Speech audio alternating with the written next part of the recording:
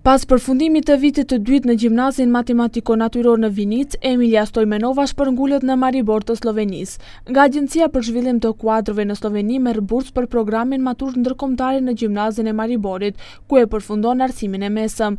Studimet për inxhinjeri elektrike i kreu në Maribor si studente më e mirë. Emilia është doktor shkencash dhe asistente në Fakultetin e Inxhinjerisë Elektrike në Lubljanë. Tani është ministre në qeverinë e re sllovene e udhëhequr nga Robert Golob. Por cila është arsyeja e cila e ka inkurajuar që ta braktisë Maqedoninë? Mbi të gjitha desha të shkoj diku ku nuk do të ketë rëndësi se kush janë prindërit e mi, nga çfarë familje vij dhe kush jam, ku do të ketë rëndësi vetëm çfarë di dhe të afirmoj veten.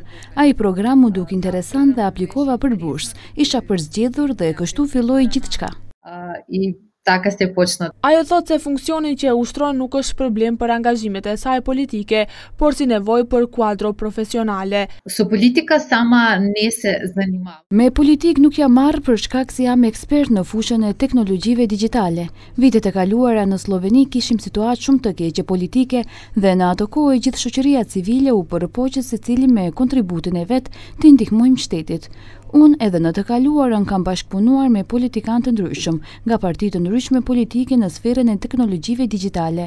Për shkak të situatës së këtillë, iu bashkangjita një partie politike, megjithatë, menjëherë pas zgjedhjeve dola prej atje. Kryeministri i ri Golob, i cili po ashtu është profesor në fakultetin ku punoj edhe unë, më ftoi në Qeveri në bazë të diturive dhe kompetencave të mia. Ajo është themeluese e rrjetit FabLab Slovenia dhe drejtoreshë e Digital Innovation Hub Slovenia.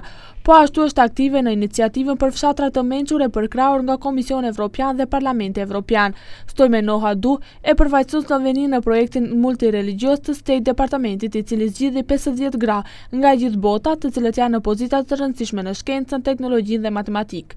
I soglet në to shtë znaef në Duke marrë parasysh se në Vinicë nuk i kisha të gjitha mundësitë si dikush që është lindur dhe ka jetuar në Shkup, Manastir, Ohër, desha të dëshmoja se edhe qytetet më të vogla kanë potencial për jetë cilësore.